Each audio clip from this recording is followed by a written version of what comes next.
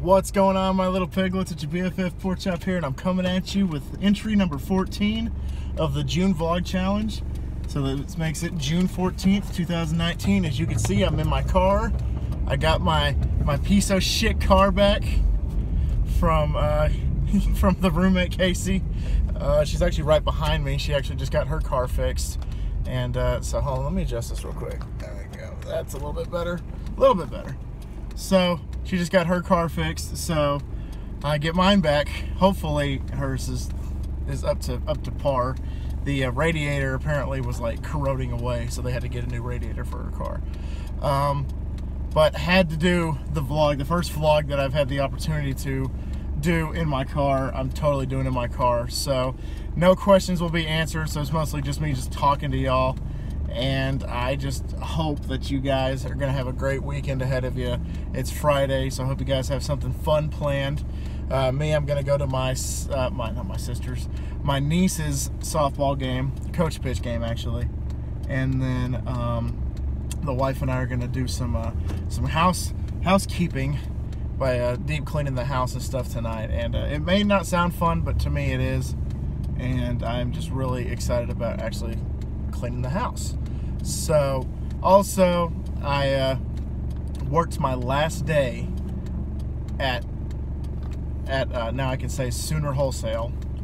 Um, I was gonna wait and not say the name until I was out, but uh, yeah, Sooner Wholesale here in Amarillo. Um, today was my last day and uh, it was actually kind of weird because not only was the GM not there when I got back from my route, I had to go to Clovis today. Um, but not only was the GM not there when I got back from my route, but like nobody said bye or thank you or, or really anything. And I was just kind of like, really? I've been here for seven months. I didn't quit. I put in my two weeks. Uh, I missed only one day of work, and that was to go to Grandma Christie's funeral. And I've worked every single day, never called in sick. Uh, the the worst I've ever been late was 10 minutes, and the earliest I've been, I think, was five minutes early one time. So I'm like, I was a good employee. Um, and when I walked in, they informed me that the uh, GM wanted me to uh, sign my, um, oh, what do you call it? The um, the changing of position form, I think is what it was called. I can't remember on the top of my head. But it was pretty much a, uh, you know, my end of employment for Sooner Wholesale. And uh, so he wrote down, you know, Kollin Mosley's last day was today. And uh, had to write down the, uh, the last day.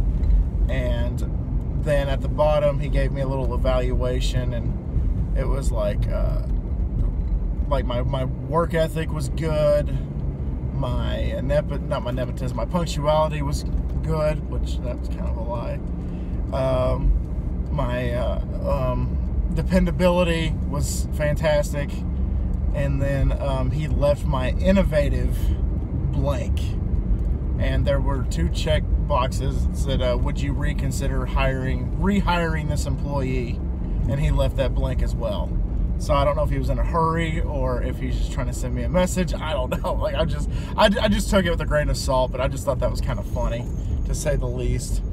And uh, regardless of if it was uh, a thing or not, I still thought that it was it was kind of funny because um, it was like innovative, nothing. So that being said, I took the liberty and helped myself. Um, back before there were Sooner Wholesale, United Supermarkets used to uh, own that uh, warehouse, and so they, they used to be called United Wholesaler at one point. Or actually, I don't even think it was affiliated with the supermarket. I think it was just the name. But I don't know. Shows how much I pay attention to the history lessons. But um, back when they were United, they had a uh, partnership with uh, Texas Tech Athletics and I am not a Texas Tech fan, to say the least. I, I do not like Texas Tech. Uh, being in the Texas Panhandle, uh, and Texas Tech being uh, the, the, main college that everybody roots for here, it makes me sick to my stomach when I see TT on everybody. But there are these these plush footballs that they just have boxes and boxes and boxes of these plush footballs. and um, at one point the GM just said, "Help yourself. Just just take take as many as you want." So I you know would take like a couple at a time, three or four at a time, because um, my dogs love them. My dogs, my dogs freaking love Chandler especially freaks out whenever I give him one of these footballs. But uh, anyway, to say uh, to, that being said, um, yesterday I grabbed a full box of 36 footballs out of the uh, the attic. Grabbed a whole box, walked out with it. Nobody said a word. And then um, today, once again, I walked out with another box of 36 of those footballs. so I have, if you if you're not a math math magician or mathematician, I know it's mathematician, but um, that's 72 footballs, and my wife did the math, and that's pretty much 24 footballs per dog that they can have for fun. So I I got him footballs, and also I was thinking about doing like a um, kind of like if you if any of y'all played the, the PlayStation 4 version of uh, Spider-Man, the uh, the PlayStation exclusive game Spider-Man. Um, he has these. Uh, oh dang! Give me a second. Hi, that's my crotch. um, but uh, that bump just didn't like me. Um, but during the game, uh, during the game, you you go around the city and you find these uh, backpacks, and the backpacks will have like a like a Spider-Man plush, like a, a bus ticket. Like it's just you know just it's just a side mission for you to do to collect all the stuffs. And um, so I was thinking about doing that in the city of Amarillo, just like hiding these Texas Tech footballs like all over the city and see if anybody can find them. There's 72 of them, so I, I could have at least 72 of them just scattered all around the uh, the place, like all over the town. So that'd be kind of funny. Oh, garage sale. And I, I, I, thought about that. That's the first thing I thought of, and I told my wife, and she just started laughing. She thought that was hilarious. And in all honesty, it's something that I might actually do.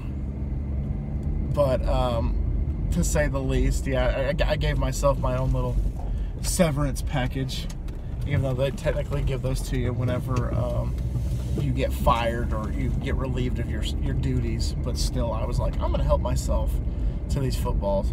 So the GM said I could help myself, and I took that and literally ran with it. But anyway, so I had to share that little funny story with y'all. I, I, I got I got a chuckle out of that. I got a crack out of that. That was funny. Oh man. And um, also, um, I got a call from from my new job that I'm starting, I got a call from the uh, human resources, and they um, pretty much were telling me that uh, Monday is my orientation, that I can expect to be there all day long, and you know, just just everything that I already knew.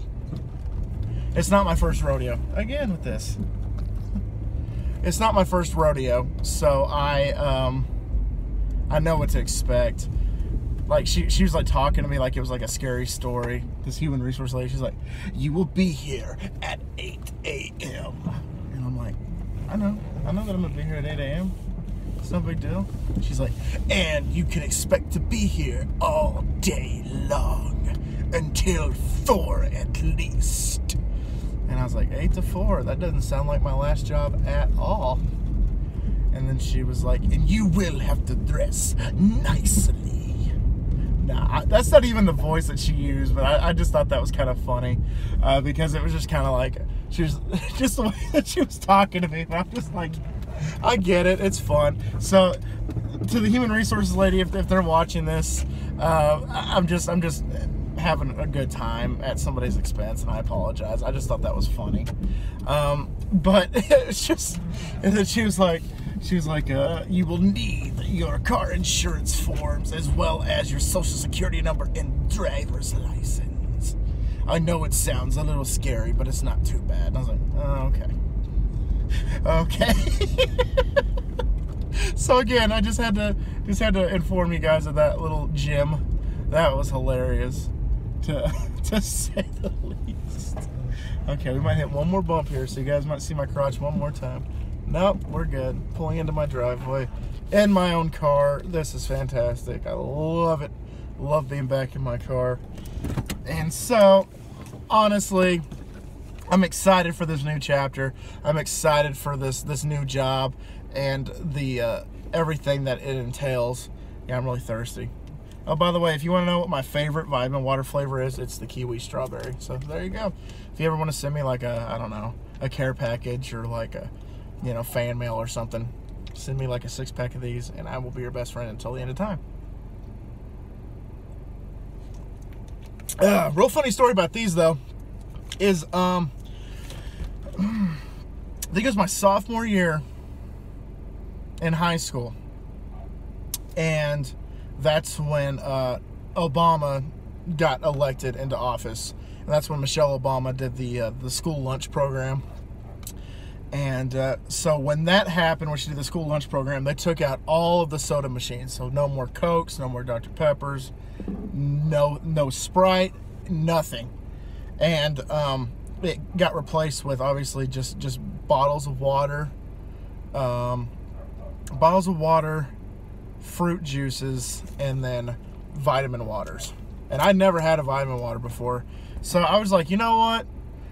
I don't really like Cokes that much anyway. I don't really enjoy them as much as I used to. It was getting to the point where I was drinking so many Dr. Peppers that my, my veins were just throbbing in my arms and in my legs and on my neck.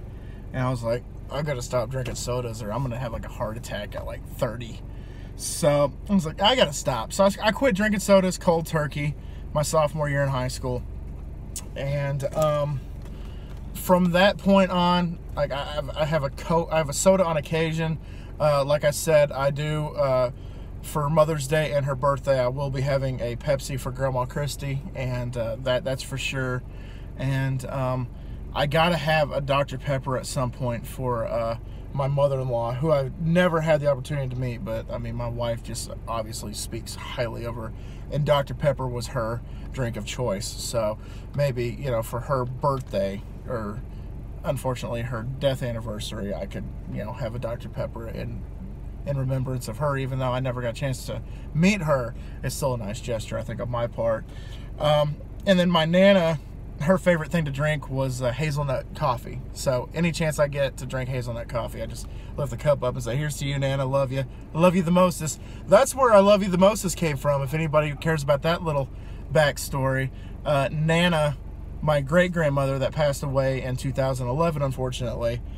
Anytime that she would leave somebody, my family has over a hundred plus people on my my dad's side of the family, and my nana would always tell everybody bye, love you the mostest. So it's a tribute to her. That's why I say at the end of my videos, love y'all the mostest. Kollin Pork Chop loves y'all the mostest is what I say. That's where I got it from is my Nana. So there you go, little little backstory, little trivia for you, a little factoid, footnote, whatever you want to call it. And then, um, anyway, so they got rid of the Coke machines and I started drinking vitamin water. And this is the first one that I tried because it was literally just a machine full of the kiwi strawberry. And I was like, okay, what's the worst that could happen? It's only a dollar. They were about this big. Actually, they were about like that big. I was like, okay. That is freaking awesome. Like, that was my first reaction. I was like, this stuff is good. So I started drinking vitamin water. And uh, straw, straw, uh, kiwi strawberry was the gateway drug because it led to dragon fruit, then it led to orange orange, and then it led to fruit punch, and then it led to the uh, triple X and before you know it, I know it, I was hooked. And uh, so the rest, obviously, is history. So there's that little fun trivia for you. And uh, I haven't had a chance to go look at the poll that I posted earlier today, so I will definitely be looking at that uh, when I get out of here. And uh, all right, guys. That being said, thank y'all so much for. I'm at three. Last time I saw was at three thousand one hundred and thirty-one subscribers, and I started this thing at 28.49. So this is a successful um, a successful June vlog challenge. It's the best one that I've done so far in my opinion. And I've really enjoyed talking to you guys. I've really enjoyed discussing with you guys. And I didn't get a chance to read your questions like I do on my back patio. But uh, definitely uh, tomorrow I will be back at it because I got to do one pretty early tomorrow because I'm going to a uh, wedding uh, party.